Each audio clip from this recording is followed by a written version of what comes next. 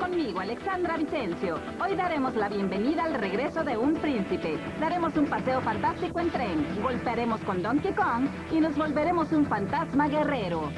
Es monstruoso, es Cybernet.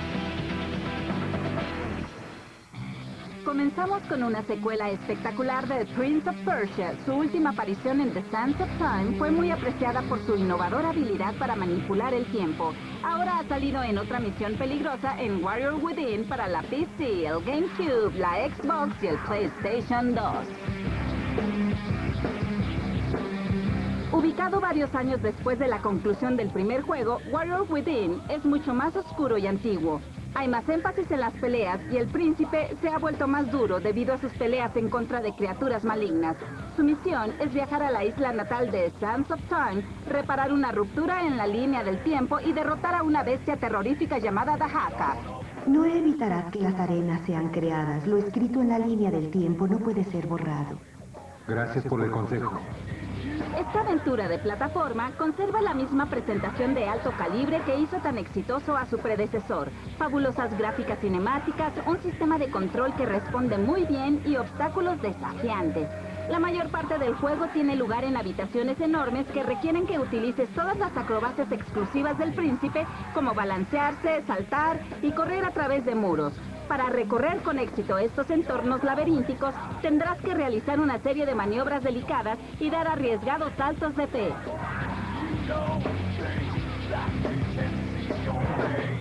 En lo que respecta al sistema de combate, esta vez es más vasto. Hay una variedad más grande de movimientos de pelea. Ahora puedes impulsarte con las paredes hacia tus enemigos e incluso usar dos armas a la vez. Dominar las técnicas de la espada es esencial, ya que muchos enemigos no pueden ser derrotados con solo apretar rápido los botones. El aspecto más singular de este juego es la habilidad de regresar el tiempo, lo cual te permite volver a realizar saltos mal calculados o intentos para pasar navajas giratorias. También puedes regresar el tiempo en combate, lo cual es útil, en especial cuando estás cerca de morir. Y por último puedes frenar el tiempo para escapar a puertas que se cierran rápidamente.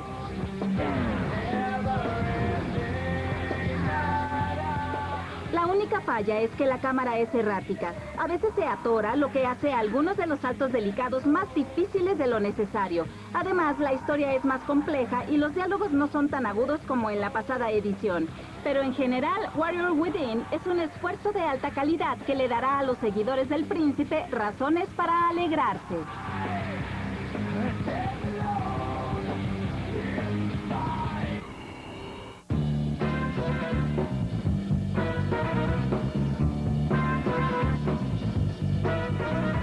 Más reciente aventura, nuestro héroe absorbente preferido tiene muchos enemigos que enfrentar y obstáculos que librar. Así que toma un lápiz y escribe este truco para SpongeBob SquarePants The Movie para el PlayStation 2.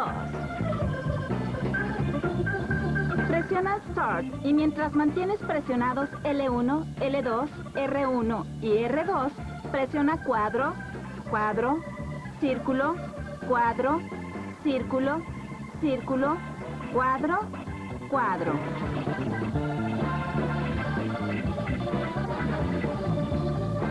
Acabamos de liberar todos los movimientos que nuestro poroso amigo amarillo puede hacer. Ahora tus enemigos no tienen oportunidad, de modo que date la libertad de hacer tanto daño como puedas. Disfrútalo.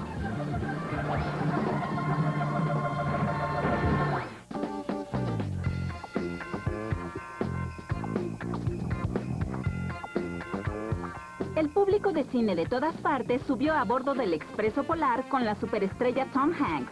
Este despliegue de efectos especiales fue inspirado en un famoso libro infantil y ahora el juego se ha convertido en un juego de video para la PC, el GameCube y el PS2. Volveré pronto a revisar sus boletos. Asegúrense de tenerlos a la mano. Este juego de acción y aventura sigue fielmente la trama de la película. Un grupo de niños hacen un viaje mágico en tren al Polo Norte para conocer a Santa Claus y toma parte en la celebración anual de Navidad. Los acompañan en su viaje todos los personajes de la película, incluyendo al misterioso conductor. Tú deberás asegurarte que todos los niños lleguen a salvo. ¿Estás bien? ¿Encontraste mi boleto? Claro que sí. Toma, amiga. Tomarás el papel de un joven niño y lo llevarás a través de ocho niveles de juego, buscando los boletos perdidos de los pasajeros. Mientras vas de un vagón a otro, encontrarás diversos obstáculos como estos juguetes mientras recolectas monedas. Sin embargo, la mayor parte del tiempo jugarás diversos minijuegos como patear balones de fútbol para meterlos en cajas y juegos de ritmo donde deberás apretar botones en una secuencia determinada. ¡Caben! ¡Jalen! ¡Caben! ¡Jalen! En otros minijuegos jugarás tenis con un juguete gigante y tendrás una batalla de bolas de nieve con el maligno Scrooge, quien es el único villano del juego. Por desgracia, la mayoría de estas actividades están mal concebidas y son aburridas. Además, hay elementos de plataforma como esquiar en una montaña resbalosa y saltar en el techo del tren. La mayoría de los movimientos son conocidos, pero el mecanismo de control es flojo y provoca que una simple carrera o salto sean una molestia frustrante. Años recientes, la calidad de muchos juegos inspirados en películas ha mejorado mucho. Sin embargo, The Polar Express representa un gran paso atrás. Incluso los niños para quienes fue creado este juego se decepcionarán. Las gráficas pobres y la presentación deslustrada solo empeoran las cosas.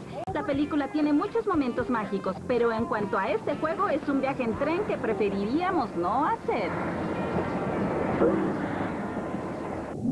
Está...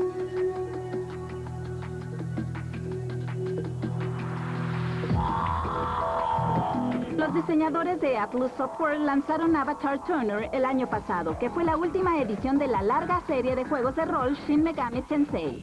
El juego fue un éxito, eso significa que deberá haber una secuela, así que aquí tienen un primer vistazo a Digital Devil Saga para el PlayStation 2. En la niebla del caos, un objeto misterioso, la vaina, aparece de pronto. Son emitidas incontables esferas de luz y a Surf y sus camaradas se les despiertan sus poderes demoníacos. Ahora su instinto les dice que devoren a todo ser en su camino mientras intentan derrotar a las cinco tribus en su viaje al Nirvana.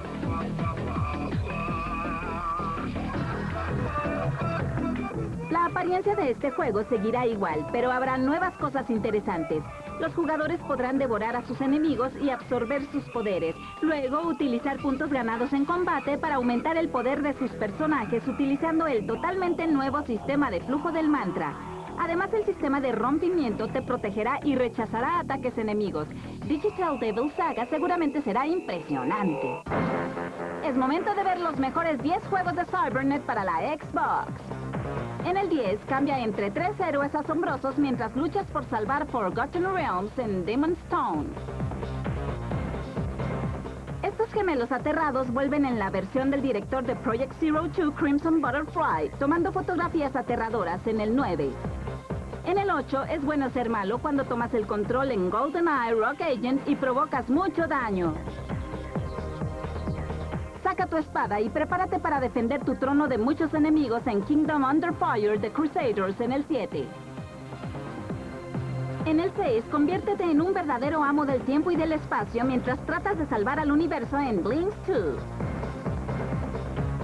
El mundo de las carreras callejeras es más veloz e intrépido en Need for Speed Underground 2, que acelera sus motores en el 5.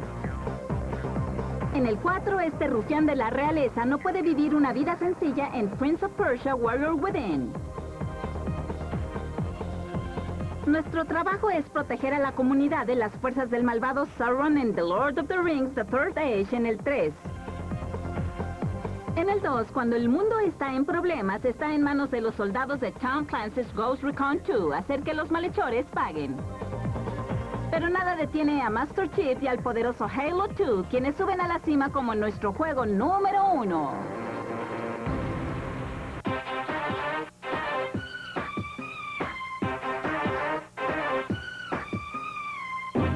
En tu afán por molestar a tus amigos y vecinos mientras te diviertes, nuestros siguientes dos juegos podrían ayudarte a lograrlo.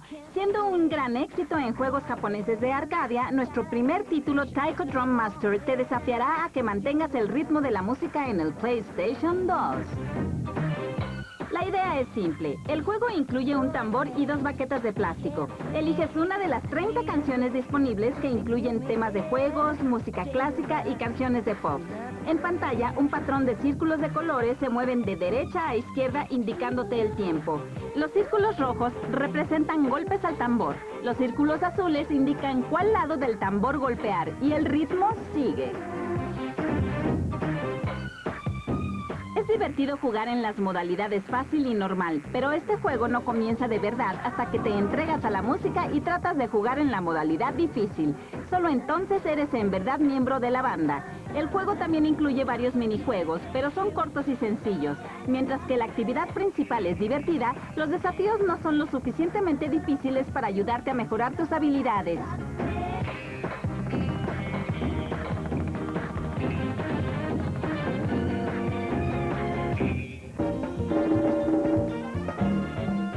Nuestro siguiente juego tiene un enfoque más primitivo. El tambor y las baquetas dan paso a un juego de bongos personalizados donde Donkey Konga tamborilea en el GameCube.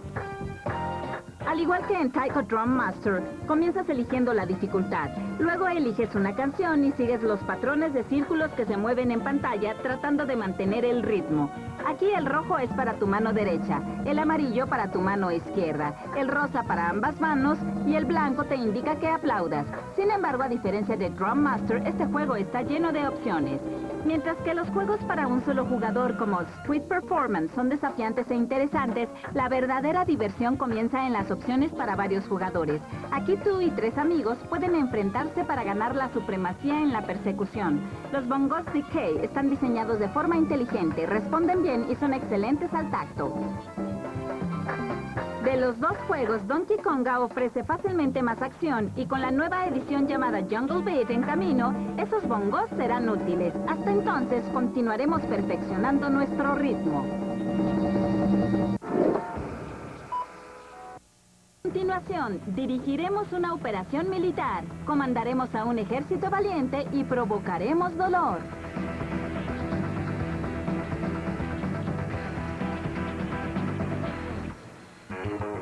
Comenzamos esta mitad con un nuevo juego militar de disparos. Gracias a la visión única y los escenarios realistas de Tom Clancy, los jugadores de todas partes han disfrutado el volverse boinas verdes fantasmas. Ahora es tu turno para intentarlo de forma suave, silenciosa e invisible en Recon, la super secuela que llega a la PC y todas las consolas.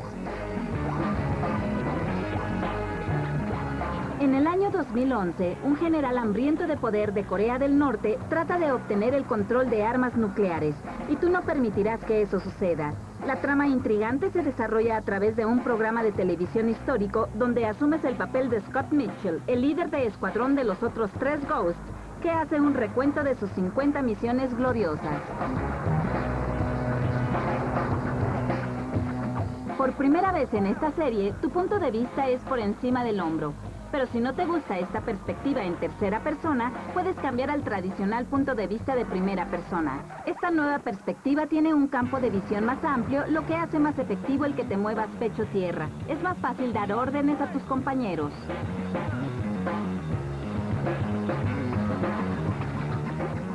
Al principio de cada misión, eliges tu arsenal de armas primarias y secundarias.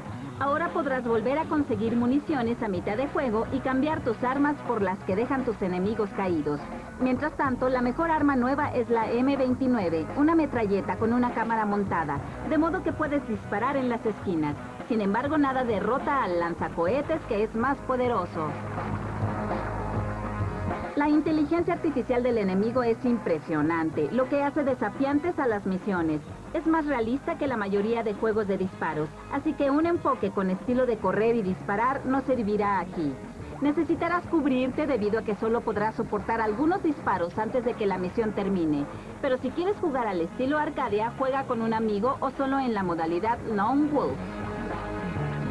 Las gráficas son excelentes y tienen mucha atención a los detalles.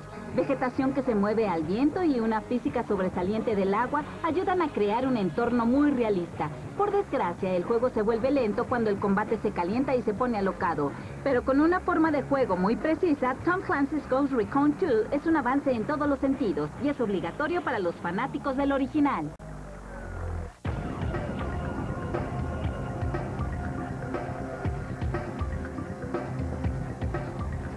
Cuando estás equipado con un Golden Eye, puedes provocar mucho daño, pero cuando terminaste con la modalidad de campaña y buscas un poco de diversión en el departamento para varios jugadores, tus amigos de Cybernet pueden ayudarte con esta táctica para Rock Agent de la Xbox. Abre el menú de extras, luego utiliza el D-pad para apretar derecha, izquierda, derecha, izquierda, abajo, abajo, arriba, arriba.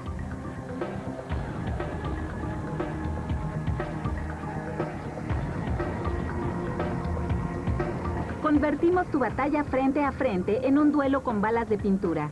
Ahora podrás dejar un maravilloso rastro de arco iris con las salpicaduras de las balas. Pero no temas, estos proyectiles coloridos siguen teniendo un efecto mortal.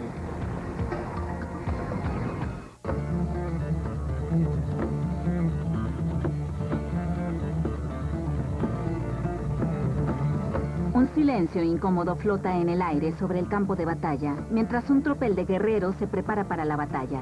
Esperan tus órdenes ya que estás a punto de dirigirlos en la guerra con Armies of Exegol cargando contra la PC. En este juego de estrategia en tiempo real y fantasía, el pacífico mundo de Exigo se ve acosado por una terrible amenaza. Un grupo siniestro conocido como los Caídos atacan a los habitantes desde las entrañas de la Tierra, y esta raza maligna trata de desencadenar una profecía de 500 años para sumergir al mundo en las tinieblas. En pocas palabras, este juego al estilo tradicional de los RTS es muy formal y limitado, en especial porque pide prestados de forma vergonzosa varios elementos del juego superior de StarCraft, de modo que no esperes muchas sorpresas. Junto con las rutinas clásicas de combate, tendrás que dirigir a cada una de tus unidades y mantener un sistema económico. Por desgracia, el único intento del juego de introducir algo innovador es el sistema de mapa de doble superficie. Esto te permite hacer la guerra encima y debajo de la Tierra de forma simultánea. Sin embargo, manejar ambos mapas mientras controlas la construcción de tus bases y la extracción de suministros es una gran pugna. Y desafortunadamente, solo algunas misiones te permiten cavar hacia la superficie para atacar por sorpresa a tus enemigos. Puedes controlar a tres ejércitos diferentes, el Imperio, la Bestia o los Caídos. Y con 36 misiones difíciles, te garantizamos que estarás ocupado un buen rato. El combate es demandante y tus tropas tienden a vagar mucho, debido a una inteligencia artificial muy cuestionable. De modo que constantemente necesitarás reagruparlos. Para hacer un RTS, las gráficas son muy buenas. El diseño de las criaturas es interesante, pero lo impresionante son los detalles y los entornos interactivos. En especial porque puedes alterar el paisaje ejecutando hechizos de terremoto y volcán. No es original, pero Armies of Exigo resulta ser una experiencia que puede disfrutarse mucho. Estás viendo Cybernet. También componte tu copetito. Tú, tú mismo, tú mismo. Ok, ¿así estoy bien? Qué bonita familia. Ok. Ve ya. ¿Qué más? Vamos. En cinco, cuatro, tres, dos. Tus papás son tus mejores amigos. Por eso, pídeles que te cuenten la anécdota más divertida que hayan pasado juntos y que nos las envíen. Lo único que tienes que hacer es contarla frente a una cámara, decir tu nombre y el de tu hijo al inicio y la ciudad en la que viven. Enviar el material a Boulevard Puerto Aéreo número 486, Colonia Moctezuma, Delegación Venustiano Carranza, México Distrito Federal 15530. El último día de recepción es el 17 de mayo. Pero recuerda, el video solo durará un minuto y puede ser grabado en cualquier formato. Así, el 28 de mayo podrás ver a tus papás en ZAP Movie Park.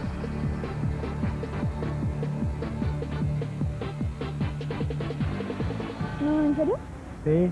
No. ¿Qué? No. Él es tímido, hipersensible, asustadizo. Pero está buscando la mejor manera para dejar atrás todos sus miedos.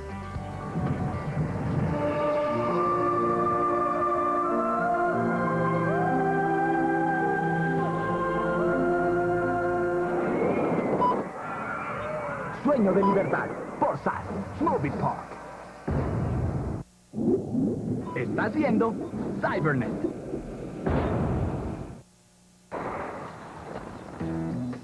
Llegamos patinando a nuestro juego de hoy con la leyenda del patinaje Tony Hawk. El año pasado su serie de deporte extremo rompió las reglas con un estilo de poder ir a cualquier lugar. En su último lanzamiento exitoso, Tony regresa con Underground con todo un saco lleno de trucos nuevos en la PC y todas las consolas. Para comenzar debes crear a un patinador. Las opciones son ridículamente variadas, así que solo tú tendrás la culpa si llegas a verte algo extraño. Luego hay que practicar, pero justo cuando empiezas a entrar en calor, eres raptado y reclutado por Tony y el chico malo de MTV, Van Margera, para que te unas al World Destruction Tour. Si te preguntas por qué Bam y yo te invitamos aquí esta noche, permítenos mostrártelo. Una vez que te unes al equipo, vas a patinar en una gira de seis ciudades, provocando caos y ejecutando maniobras radicales. Continuando con el estilo de juego de final indeterminado de la edición del año pasado, esta secuela te permite llevar tu creatividad al límite. Si puedes verlo, puedes hacer un truco con ello. Y debido a que posees suficiente destreza, cualquier truco es posible. Ollies, no skins, sides, wall rides, lo que quieras. Oye, incluso puedes patinar con tu patineta en llamas se introdujeron varias características nuevas como el modo de enfoque que frena el tiempo para que puedas anotar más puntos. Si caer se convierte en un hábito, puedes enloquecer y realizar un movimiento de miedo. Pero lo que más nos gusta es que ahora la conducta destructiva es recompensada. Eso significa que puedes tirar manzanas, golpear a mimos e incluso atravesar cristales.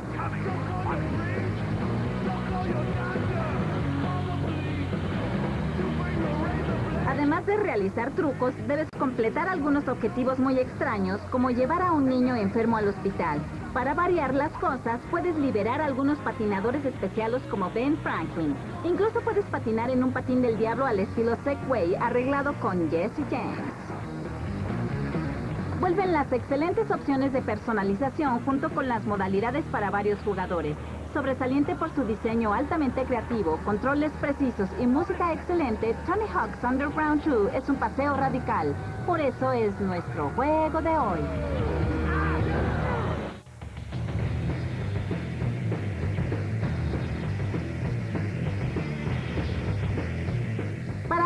Tienen ganas de administrar un mundo de dolor a una horda de demonios, no busquen más, porque están a punto de volverse un painkiller en Battle Out of Hell, una expansión para el exitoso juego de la PC. Este frenético juego de disparos en primera persona continúa justo donde se quedó el juego original, de modo que volverás a controlar al pistolero y ejército de un solo hombre consentido del cielo, Dan deberás volver a visitar el inframundo para acabar con una plétora de monstruos malignos y vencer a Alastor, quien ha tomado el lugar de Lucifer. Si pudiéramos encontrar una lata de insecticida... Los controles son sencillos y funcionan de maravilla para este juego de disparos que pone atención al simple y desquiciado tiroteo de antaño. Hay 10 nuevos niveles en los cuales abrirte paso, incluyendo un orfanato embrujado y un parque de diversiones desquiciado. Y esta vez los enemigos implacables y principales más rudos son más agresivos que los paparazzi. Por suerte aumentó tu arsenal de armas, así que tienes oportunidad de presentar batalla al confrontar desventajas numéricas. En especial nos gustó la mortal ballesta que dispara cinco flechas a la vez. ¡Auch! Después de congelar a un enemigo, intenta dispararle una descarga de explosivos. Pero la mejor arma es la combinación del rifle de asalto con el lanzallamas. ¡Qué bien, ¿no? Las gráficas son impresionantes, en especial el fantástico diseño de los niveles que emana una escalofriante atmósfera gótica y sangre. Así es, este festín sangriento no es apto para débiles de corazón, debido a que zombies y monstruos explotan literalmente en miles de pedazos gracias al nuevo y mejorado sistema de física. Por desgracia, sigue habiendo algunas fallas, como los largos tiempos de descarga y laberintos de saltos pobremente implementados. Pero en general, Painkiller tiene todo lo que disfrutamos de un juego de disparos en primera persona. Modalidades para varios jugadores, enemigos principales desafiantes y un alto nivel de violencia que los separa de otros en este género tan sobrepoblado. ¡Duro con ellos! Y bien, llegamos al final de este programa, pero Cybernet volverá con más juegos